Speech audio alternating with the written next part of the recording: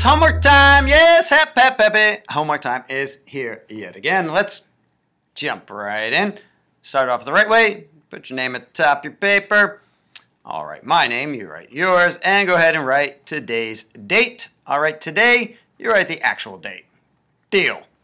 Our instructions for number one, use the area model, there it is, to represent 220 one hundredths and we'll complete the number sentence, which is right there. Now, I actually want to do this backwards. I want to start with B in the space below, explain how we determined our answer to part A. So how are we going to figure out 220 one hundredths? How many tenths is that? I think it makes sense to figure it out before we answer it. Call me crazy. All right. So I'm going to do this. Uh, I'm going from hundredths to tenths, right? Okay, so let's set this up the same way we did equivalent fractions, which is something we've learned relates very nicely to decimals. I'm going to do something with this 220 one hundredths so that I can uh, rewrite it in terms of tenths. Well, what do I do to 100 to get 10? Don't say subtract 90. Come on. Right, you got it. Divide by 10. Yes, you remember this from equivalent fractions. And of course, I need to divide by a value of 1, so I'm only changing the form and not the actual value of the number. So dividing by 10 tenths, well, 220 divided by 10. Remember this from Module 1? Yeah, uh, or 2 or whatever. Yeah, on the, on the place value chart. Okay, so it'd be 22. I'm not going to explain that any further. So this right here shows how did we determine how many tenths that is? There it is. Okay, but we also have to think of it in terms of how many ones and how many tenths. And so what we can do here now is express this improper fraction as a mixed number. Ooh, yeah. All right, so how many tens in 22? Well, there are two. We're doing division here, aren't we? There are two tens.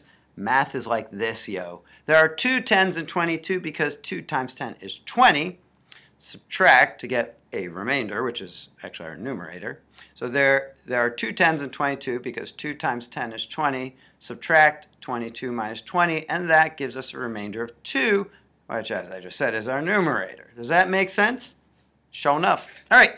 And this actually, I mean, maybe your teacher wants some words, but this is my explanation. How did I get what I'm about to put in up here in this number sentence, it comes right from this mathematics here.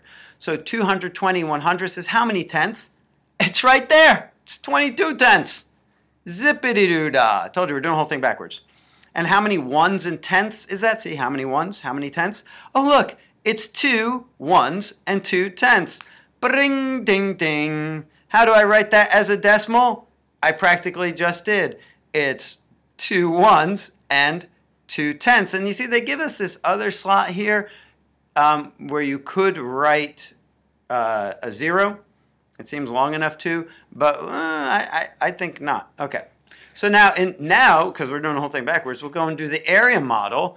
And you are going to shade in your area model much more neatly than I'm going to because I'm just kind of walking you through it. I don't have to turn this in, yo. All right, so blah, blah, blah, one whole, two wholes, that's horrible. I know. Don't do it like that.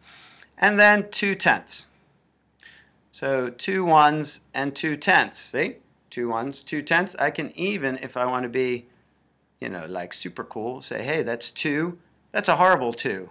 That's an inexcusably horrible two. Oh, that's a horrible bracket. Horrible's the name of the game. Going on. Well, dear friends, this is a very serious moment here at, no, it's not. Okay, number two, draw a place value disk to represent the following decompositions. All right, three ones is how many tenths? Okay, now, all right, let's do this. Whew. I know none of us like drawing all these little circles. Let's suck it up and do it. Okay. All right, so we got three ones we're starting with. One and two and three. Now, how many tenths is that? And this is where it gets a little painful. Okay, so, all right. So this one, think of it as one dollar, is how many dimes? It's 10 dimes. See, this is where the pain begins. One, two, three, four, five, six, seven, eight, nine, 10. And notice I'm making them smaller because, yeah, I know I have to fit a bunch in here. And this dollar is how many dimes? This 1 is how many tenths? It's 10 tenths. 1, 2, 3, 4, 5, 6, 7, 8, 9, 10. And this one is how many tenths? A 1, 2, 3, 4, 5, 6, 7, 8, 9, 10. 10, 20, 30. Three ones is 30 tenths. okay, next up, 3 tenths is how many hundredths? Well, okay, so here's 3 tenths. How many hundredths is that? Well, let's take this dime, this first dime right here. How many pennies in a dime? It's 10 cents. It's 10 pennies. It's 10 hundredths. One tenth equals 10 hundredths. So 1, 2, 3, 4, 5, 6, 7, 8, 9, 10. And you've probably already realized that this one's going to look a whole lot like that one. And that's actually what you already did in the uh, lesson and problem set earlier today, didn't you? And this tenth is also 10 hundredths. This dime is also equal to 10 pennies. 1, 2, 3, 4, 5, 6, 7, 8, 9, 10. And of course, this dime is equal to 10 pennies. This tenth is equal to 10 hundredths. 1, 2, 3, 4, 5, 6, 7, 8, 9, 10. So indeed, 3 tenths equals 30 hundredths. 3 dimes equals 30 pennies. Okay, now we have two ones and 3 tenths. And we're going to put the whole thing into tenths. Well, hot dog and hallelujah, these three tenths are already tenths. So I can just kind of like leave them alone. I'll look at this one though and say, hey, I already know from up here, right? That one dollar is 10 dimes. One one is 10 tenths. One, two, three, four, five, six, seven, eight, nine, ten. And then this boy over here, same thing. One, two, three, four, five, six, seven, eight, nine, ten. And you thought we were done drawing place value disc way back when we did division. And no. Okay. Um, so how many tenths do I have now? I have 10, 20, and these three make 23 tenths.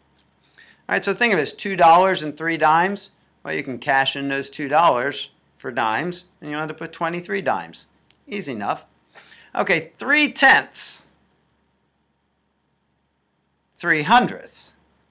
We'll express entirely as hundredths. And again, think of this in terms of money. I'm going to take this dime, cash it in for pennies. One, two, three, four, five, six, seven, eight, nine, ten.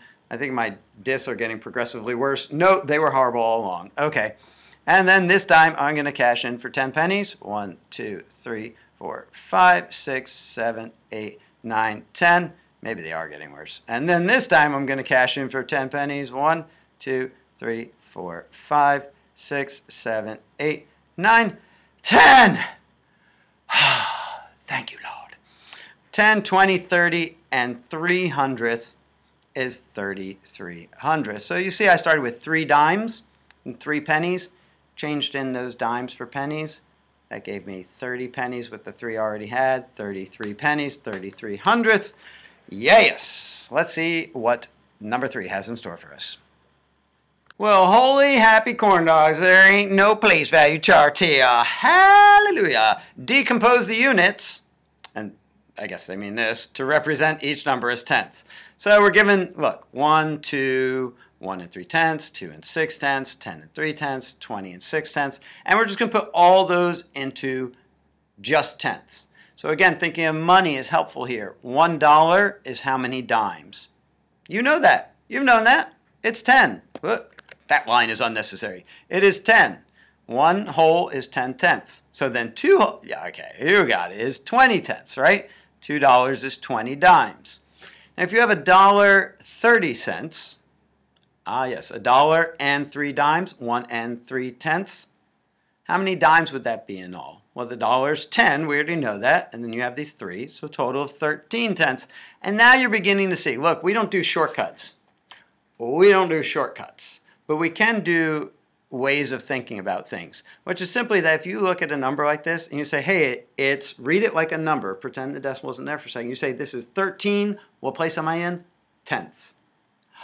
See the magic? In fact, if this number were written this way, okay, and you don't have to write this down, I'm just showing you something. I could say this is 130, what place am I in? Hundredths, 130 hundredths. You see the magic there? It's beautiful. I'm going to erase that. Beautiful. All right, so now we have $2 and 6 dimes, 2 and 6 tenths. 26, what place we in? Tenths. Okay, we see how this works now? We're getting good at this. And it's especially useful here. Uh, and you can think of this in different ways. That's that $10 is how many dimes?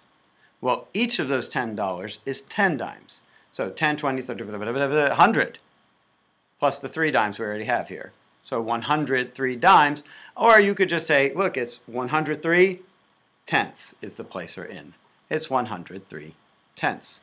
That $10.30 in money would be 103 dimes. Ah, I didn't even have to say anything. You already know it. 206 tenths. You got it. 206 tenths. You're getting good at this. Let's go check out number four. Well, holy catfish, Batman. It's more the same, except, in fact, it's exactly the same. I mean, it's the same. Like, those are the same numbers we're working with, except, yeah, now we're going to hundredths. Okay, now let me show you a little way of thinking about this, just the same as I related. There's a couple ways. One, that this is $1 is how many pennies? $1 is how many pennies? How many cents? And yes, it's 100. Okay, and another way of thinking about this is to write it out to the hundredths place and then read it just like a number, pretend the decimal isn't there. 100, what place am I in? Hundredths. 100 hundredths. Same thing here. $2 then is how many pennies? 200 hundredths, yes. And then here, watch, I'll write it out like this. How many pennies in a dollar 30 cents? Well, when I place that zero there, which doesn't change the value of the number, I can see quite easily it's 130. What place am I in?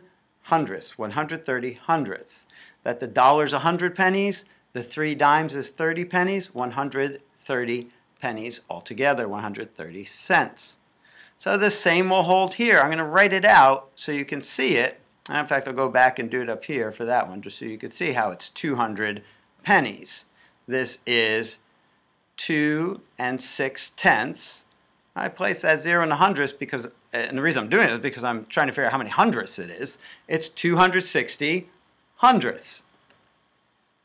You see how you can think about this? And again, it's not a shortcut, it's just a way of thinking about it. Um, 1, 0, dot 3, 10 and 3 tenths. How many hundredths is that? Well, okay, now it's going to look a little tricky, but watch. Through the magic of imagination. If I write it out to the hundredths place and read this just as a number, ignoring the decimal for a moment, 1,030 hundredths. Splendiferous. And you can also reason this out saying, okay, each dollar of these $10 is 100 pennies, right? 100, 200, 300, 400, 1,030 pennies. 1,030 hundredths. Sneak a comma in there. All right, and same thing here. If I just write it out to the hundredths place so I can see it more easily, and there's no magic or trickery here, I'm just writing out to hundredths place because I'm converting it to hundredths. I want to see it that way. 2,060, what place am I in? Hundredths. 2,060 hundredths. So 2,060 hundredths. Yes, we're almost done. Number five, let's do it. Don't worry, don't worry. I know we've seen charts like this before, these tables, and you're like, oh no, not this thing again. This one's actually much more straightforward than some of the ones we did before with expanded form, where we had to do a lot of figuring and writing. Watch what this does. Read this as a math number. Don't say point, say and. 4 and 1 tenth. Mixed number, 4 and 1 tenth. Look back at the decimal. How many tenths is that? 41. What place are we in? Tenths. That's easy to write in unit form, right? 41 tenths. And as a fraction, 41 tenths. And then to take it out to hundredths, I would just, so I can see it more easily, place that zero there and say, oh, it's 410. What place am I in? Hundredths. 410 hundredths, and then to write that from uniform into uh, an improper fraction is pretty straightforward, 410 hundredths. So let's do it with this one. Five, read it as a math number. Don't say point, say and. 5 and 3, what place are we in? Tenths. 5 and 3 tenths. See, because then writing a mixed number is exactly the same thing. 5 and 3 tenths. How many tenths is this? Ignore the decimal point. Read it out to the tenths place. 53, where are we? Tenths. 53 tenths. Isn't that exactly what I'll write as, a, as an improper fraction? 53 tenths. Now to go out to hundredths, I'm again, just so I can see more easily, going to place that zero there. 5 and 30 hundredths, right? 530. What place am I in? Hundredths. 530 hundredths. So 530 hundredths. And then my fraction form is written the same exact way as I'm saying 530 hundredths. All right, now we can uh, pick up the pace a little bit here because we understand what, what we're doing. Read this as a math number, say and, not point. 9 and 7 in the tens place. 9 and 7 tenths. Mixed numbers written the same way. 9 and 7 tenths. How many tenths? 97 tenths. Got it. 97 tenths, and that's exactly what the fraction will look like, 97 tenths. I like to place this zero so I can read it out to hundredths. 970 hundredths. 970 hundredths. And you can stop along the way and relate that to money and say, oh yeah, $9.70 will be 970 pennies. It's an awful lot to carry around. My fraction form looks the same way. 970. Hmm, that's not a very good zero. The table is shaking. Excuses, 970 hundredths. 10, read it as a math number, say and. 10 and 9 tenths. Mixed numbers written the same way. 10 and 9 tenths. Read it out as a number to the tenths place. 109, where are we? Tenths. 109 tenths. And so the fraction is written the same way. 109, what? Tenths. You got it. 109 tenths. To envision it more easily out to hundredths, I will place the zero. So I'm looking at it out to hundredths. 1,090 hundredths. 1,090 hundredths. And check your spelling on that as well. You might as well learn how to spell these things. And so the, uh, the fraction's written the same way, way 1,090 hundredths. Last one. Read it as a math number. Don't say point, say and. 68 and 5 tenths. Mixed numbers written just like that. 68 and 5 tenths. Look at it as a number. 685, 685, where are we? Tenths. 685 tenths. And now the fraction is written the same way as we just read that. 685, what? Tenths. To envision it as hundredths, I just want to place that zero so I can see it written out to the hundredths place.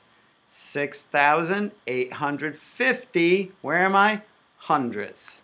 6,850 hundredths. Trying to squeeze it in here. And so as a fraction, it's written the same way. 6,850 what hundredths? Well, look at that. You've gone and done it again. You completed another homework time. Congratulations. Nice work. I'll see you again next time. It is once again homework time. Yeah.